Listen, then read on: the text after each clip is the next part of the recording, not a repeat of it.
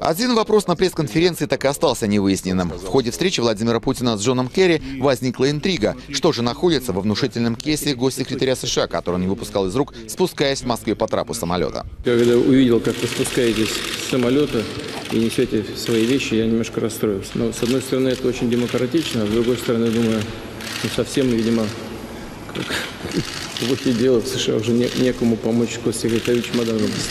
Но вроде в экономике все хорошо, сокращение больших. Да? Потом подумал, может быть, в этом кейсе было что-то такое, что вы не могли никому доверить. Видимо, деньги привезли, чтобы нам торговаться по, по, по ключевым вопросам. Но если серьезно, то мы действительно рады вас видеть. Большое спасибо, и когда мы поговорим с глазу на глаз, я покажу, что у меня в портфеле. И я думаю, вас это удивит. Это будет приятный сюрприз. Что за сюрприз подготовил Керри, осталось загадкой. На вопрос журналистов госсекретарь США сказал, что это секрет, который будут знать только он и президент Путин. Олег Шишкин, Александр Исаев, Алексей Трофимович, Дмитрий Синицын, Первый канал.